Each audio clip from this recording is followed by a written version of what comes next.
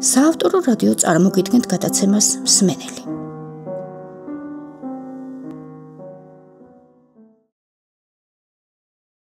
მოგესალმებით.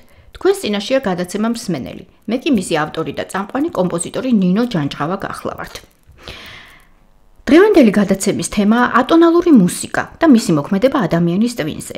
დასაწყისშივე განვარტოთ, რომ ატონალური ნიშნავს ჟღერადობას, სადაც არ არის ტონალობა, ან სადაც არ არის ცენტრი, რის გარშემოდაც მთელი მუსიკალური ნაწარმოების ქსოვილია განთავსებული. და სწორედ ასეთი მუსიკის შესახებ მინდა გესაუბროთ და თუ ეს მუსიკა რა გავლენას ახდენს ადამიანის ტვინზე და რა ასოციაციებს იწვევს მასში. ერთ ზაფხულს გერმანულმა სარკინიგზო კომპანიის მენეჯერმა განაცხადა, რომ გეგმავს რკინიგზის სადგური გაანთავისუფლოს ნარკოგამსახებლებისაგან, უსახლკაროებისაგან და სხვა არასასურველი ადამიანებისგან, რომლებიც უმისესოდ იმყოფებოდნენ რკინიგზის სადგურის ტერიტორიაზე. ექსპერიმენტის დაწყება განიზრახეს ჰერმანშტრასედან. სადაც უხვად იყვნენ მსგავსი პერსონაჟები. ღონისძიება გათვლილი იყო იმაზე, რომ ატონალური მუსიკა ამ ადამიანებში გამოიწვევდა განგაშის შეგრძნებას და პლატფორმას უფრო ადრე დატოვებდნენ, ვიდრე რომ დადგებოდნენ და მოусმენდნენ ამ მუსიკას ბოლომდე. რაღაც ასე. ეს იგივეა, რომ გააკეთოს კამები, რომლებზეც დაჯდომა არც ისე მოსახერხებელი და სასურველი იყოს და დაწოლა ხომ საერთოდ. საზოგადოება არც ისე დადებითად შეხვდა ამ წამოწყებას, თუმცა თანამედროვე მუსიკის აქტივისტებმა, აქციის ორგანიზატორებმა, ღონისძიებმა მაინც ჩაატარეს, მაგრამ არა საპროტესტო, არამედ საგანმანათლებლო. სარკინიგზო კომპანიის მენეჯერი დაესწრო კონცერტს და მუსიკის მოსმენის შედეგად აღიარა, რომ არ იყო მისი აზრი ქმედით უნარიანი ამ ხალხის გასაყდრელად და გადაწყვიტა, რომ უსახლკარო ნარკოგამსახებლებს ისევ გაეგრძელებინათ ძილი ლიანდაგების ხმაურში. თემა საკმაოდ ფართოა, მაგრამ მაინც საინტერესო იქნება ამის იმ კუთხიდან განხილვა თუ რა აზრი ჩამოუყალიბდა სარკინიგზო კომპანიის მენეჯერს ატონალური მუსიკის შესახებ, რომ შეცვალა თავისი გადაწყვეტილება და საერთოდაც განვიხილოთ თუ როგორ მოქმედებს ადამიანის ტვინზე ატონალური მუსიკა. გზადაგზა გავერკვეთ მის მთავარ წარმომადგენლებში და რამოდენიმე სანიმუშო მაგალითიც მოვისმინოთ. რა უნდა ვიცოდეთ ატონალური მუსიკის შესახებ? როგორც გადაცემის დასაწყისში ნაწილობრივ აღნიშნე, ატონალურ მუსიკაში მუსიკალური მასალის ორგანიზაცია ძირეულად განსხვავდება ტონალური მუსიკალური მასალის ორგანიზაციისგან. ანუ აქ არ გვაქვს ცენტრის შეგრძნება. ძალიან რომ არ ჩავოღრმავდეთ თრეორიულ ცოდნას, მომზადებელ მსმენელში ეს მუსიკა იწვევს არასტაბილურობისა და ქაოტურობის შეგრძნებას, განსაკუთრებით მათთვის, ვინც ტონალური მუსიკის მოსმენას არის მიჩვეული. სიახლე, ყველანაირი სიახლე აფხიზლებს და ახალისებს ადამიანს, ასევე არის სმენითი სიახლეებიც. ის იჭრება ჩვენს ფსიქიკაში და ახალ რეალობას ქმნის, რომელიც ცხადია იწვევს განახლებას, ახალი უჯრედების წარმოქმნას და ძველის გააქტიურებას. ახალი სმენადობა, ახალი კოორდინაციის ჩამოყალიბებას იწვევს ადამიანის ფსიქიკაში, რაც ცხადია აცოცხლებს, აფხიზლებს და აჯამრთელებს, როგორც სმენეს, ასევე მთლიანად ადამიანის შემეცნებას და აფართოვებს მის ცნობიერებას. თუმცა უნდა აღინიშნოს, რომ დისკომფორტისა და განგაშის შეგრძნება არ ტოვებს ახალი მუსიკის ახალ მსმენელს. ატონალური მუსიკა ხშირად გვხვდება საშინელებათა ფილმებში, ვიოლინოს წივილა ხმა ან მოულოდნელად აღმოცენებული აგრესიული ფორტეპიანო ეტყობა ეს ეტყობა ამ ფილმების კომპოზიტორები უფრო შემაშინებელს ვერაფერს იაზრებდნენ ან რეჟისორები აძლევდნენ მათ ასეთ ამოცანას. ასეთი მუსიკა გამოიგონეს 100 წლის წინ. დიახ, გამოიგონეს. სწორადაც რომ მუსიკის დედაქალაქ ვენაში. მისი გამომგონებელი გახლდათ არნოლდ შონბერგი, მაგრამ პირველი უნდა ითქვას, რომ ის ისტორიული პროცესების ლოგიკურ გაგრძელებას წარმოადგენდა. ის იყო კაცობრიობის განვითარებისგან მიღებული რეზულტატი, რომელსაც გამოვლენა მუსიკის ენაშიც ნახა. დისონანსების მომრავლება მუსიკაში მე-19 საუკუნის მეორე ნახევრიდან დაიწყო. თუნდაც ფერენც ლისტის და რიჰარდ შტრაუსის მუსიკაში, თუმცა ატონალური მუსიკის ფუძემდებლად არნოლდ შონბერგი ითვლება თავისი მოსწავლეებით, რომელთა სახელებია ალბან ბერგი და ანტონ ვებერნი. ისინი ყველანი არიან ახალი ვენის სკოლის წარმომადგენლები, როგორც უკვე მათ მოგვიანებით უწოდეს. მათ შორის არნოლდ შონბერგმა პირველმა შეწყვიტა ტონალურ სისტემაზე მიჯაჭვულობა და გამოაცხადა, რომ ტონალური სისტემა დაავადდა. მას არაფრის გადმოცემა აღარ შეუძლიაო. დაავადდა კი არა, საერთოდ გარდაიცვალაო. ამის შესახებ ის წერს თავის ნაშრომში 1911 წელს, რომლის სათაურიც გახლავთ სწავლება ჰარმონიაზე. კომპოზიტორი პიანისტ ფერუჩო ბუზონის წერს. მე ვცდილობ ბოლომდე გავთავისუფლდე ძველი ფორმებისგან. ერთობის და ლოგიკის ყველა სიმბოლოსგანო. აქვე უნდა აღინიშნოს, რომ შონბერგი არ იყო მხოლოდ ერთი შემოქმედი, რომელიც ძველისგან განთავისუფლებას ეწრაფოდა. მხატვარ აბსტრაქციონის სკანდინსკის კი წერს, რომ ხელოვნება ქვეცნობიერის პროდუქტია. ადამიანმა თავისი თავი უნდა გამოხატოს და რაც შეიძლება, მით უფრო უშუალოდო.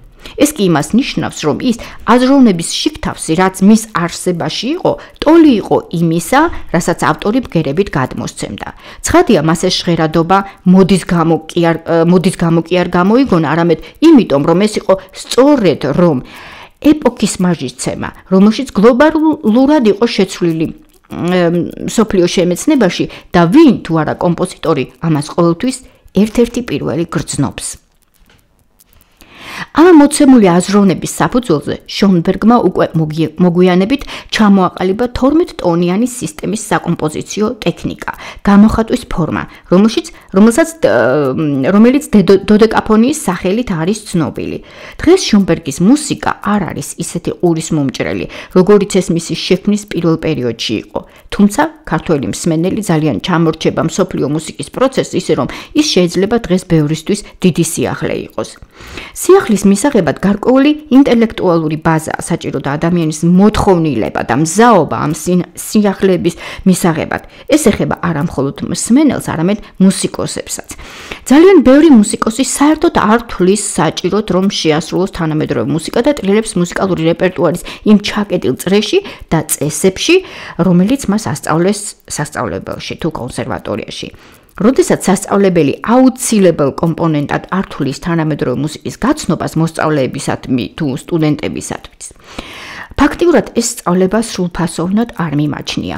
მუსიკა დღეს თავისი განვითარების მიხედვით იმყოფება მესამე ავანგარდის ეპოქაში. ჩვენში კი მეეჭვება, რომ პირველი ორი საერთოდ თუ არის ცნობილი. ქვეყანა საერთოდ მოშლილია. ცხადია რა, საკონცერტო რეპერტუარის მრავალფეროვნებაზე მაქვს საერთოდ საუბარი. როდესაც კონცერტები საერთოდ არ ტარდება. როდესაც ყველა ქვეყანაში ამ პანდემიის ფონზე ცხადია რეგულაციების დაცვით და დაცვით და ინტერნეტით ტარდება კონცერტები. შემსრულებლები მუშაობენ თანამედროვე კომპოზიტორებთან, ეძებენ სიახლეს, ახალ მხატვრულ სახებს. ეს ცხადია მათი განვითარების დონეზე და პროგრესისკენ სწრაფვის შედეგია და სხვა არაფერი. მაგრამ ვინაიდან ჩვენ ამ ეტაპზე სხვა გზა არ გვაქვს, ჩვენ თვითონვე უნდა გადავირჩინოთ თავები და გადავწყვიტოთ, რომ გვინდა ახალი ეპოქის შესაბამისი მუსიკა და თუნდაც რამოდენიმე საუკუნის წინადელი უკვდავი მუსიკის თანამედროვე და აქტუალური ინტერპრეტაციით შესრულება. მსმენელისათვის კეთდება ყველაფერი, მაგრამ მუსიკოსებსაც ყოველთვის უნდა ახსოვდეთ, რომ მათი ვალია მსმენელის სულიერი გაძლიერება და მათი აზროვნების დახვეწა და განვითარება. ვინაიდან ის ისევ მუსიკოსის პროგრესს და მასვე მუსიკოსსავე სჭირდება. ახლა კი ისევ მინდა დავუბრუნდე შონბერგის 12 ტონიან სისტემას და ფართო მსმენელისათვის გავშიფრო ის უფრო გასაგები ენით. შონბერგის დოდეკაფონიაში ეს 12 ტონი ყველა თანაბარი და დამოუკიდებელია. არავინ არსად არ მიისწრაფვის და ცენტრს არ ეძებს იმისათვის, რომ ნაწარმოები დაიწყოს, განავითაროს ან დაასრულოს. ცენტრის სიმბოლო ერთგვარად ღმერთის სიმბოლოსაც კი უკავშირდება, ხოლო ამ ცენტრის დაკვარგვა თუ გაბათილება სწორად ღმერთისკენ სწრაფვის დაქვეითებასა და მისკენ სწრაფვის შეჩერებასაც კი გავს.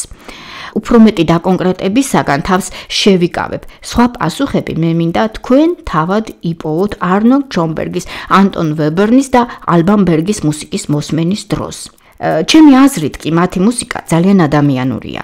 მას შესწევს ძალა შეეხოს ადამიანის ძალიან ფაქის ფიქრებს, აზრებსა და გრძნობებს, რომელიც მხოლოდ ძლიერი ექსპრესიული ემოციური გამოხატულების დროს თუ იჩენს ხოლმე თავს.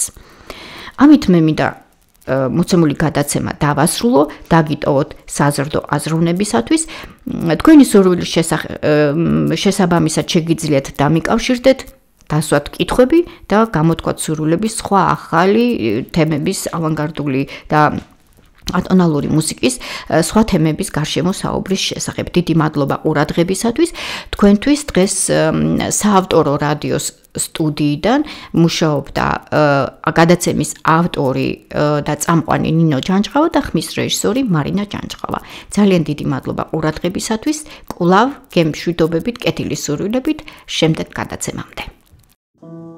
რა უნდა ვიცოდეთ მუსიკის ზემოქმედების შესახებ? რას მოვუსმინოთ და რის მოსმენას მოვერიდოთ. როდესაც უსმენ და არ გესმის და ამის გამო კარგავ მოსმენის სურვილს. რატომ უნდა მოვისმინოთ კლასიკური მუსიკა? ამის და სხვა საინტერესო საკითხების შესახებ ნინო ჯანჭღავას საავტორო გადაცემა სმენელი, რომელსაც საავტორო რადიო გთავაზობ.